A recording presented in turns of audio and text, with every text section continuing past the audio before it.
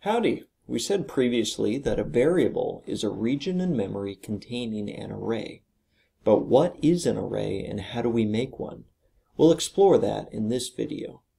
Array in general just means a collection of values. In MATLAB, an array will be stored under one variable name. There are three specific types of arrays. The first is a scalar, which is simply a single value. You could also call this a one-by-one array. The next type of array is a vector. This is an array with one dimension. In other words, it is a list of values, either in a row or a column. Lastly, we have a matrix. This is an array with more than one dimension.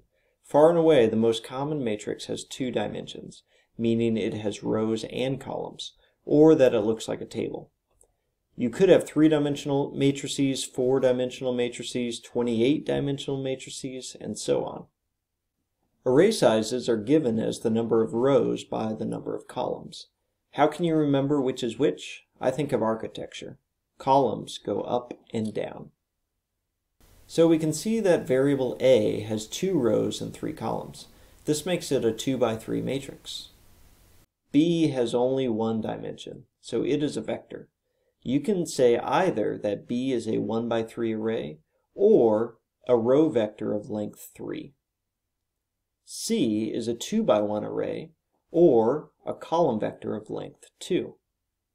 Sometimes we want to view an array as a whole, but other times we want to extract individual values from the array. To do this, we use array indexing. Index is just another word for address, location, or slot within an array. We tell MATLAB we are looking at an index by using parentheses after an array name. This is why parentheses are not allowed in a variable name. If working with a 2D matrix, the first index identifies the row, and the second index identifies the column. Let's look at these examples on the right. A parentheses 2 comma 1 tells MATLAB to look at matrix A and extract the value in the second row and first column. This happens to hold a 15. A 1 comma 2 pulls out the value in the first row and second column from A. Here we see that is a 22. With vectors, since they only have one dimension, you only need to provide one index. The third index in B holds a negative 3. Similarly, the first index in C holds a 7. Here's an example just to show you what a three-dimensional matrix might look like. Each of the small cubes represents an individual value.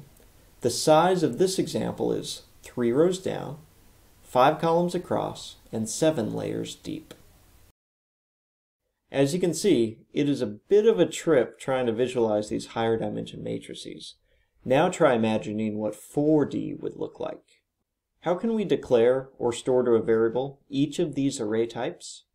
Scalars are the easiest. You simply need a variable on the left, the assignment operator, and the value you want to store. For vectors or matrices, though, we need to take advantage of concatenation. This is a fancy word that just means slap together or combine multiple things. Brackets are used to perform concatenation. To create this first row vector, we start with the assignment operator like usual. Then, within brackets, we list out all the values we want to combine in order. We can use either spaces or commas between values. Both of these fill in values left to right. For a column vector, things change slightly. Typically, you will use semicolons in between each value. Semicolons tell MATLAB to combine top to bottom. We could also use the transpose operator. Without this little apostrophe, D2 would come out as a row vector. But because of the apostrophe, this gets flipped to be a column. More details on the next slide. Finally, for a 2D matrix, we need to combine the elements for row and column vectors. Start with brackets as usual, then fill in the first row left to right, separated by either commas or spaces. Then, to indicate the jump down to the next row, use a semicolon. Here we see more details on the transpose operation. To do this, we use an apostrophe, or a single quote. This will turn the first row into the first column, the second row into the second column, and so on. This is a simple example. I declare matrix A with an operator you'll see in the next video. This makes A as a 2 by 3 matrix. Then we transpose A and store to B. Notice that B is now a 3 by 2 matrix. The size was flipped. And the first row of A became the first column of B.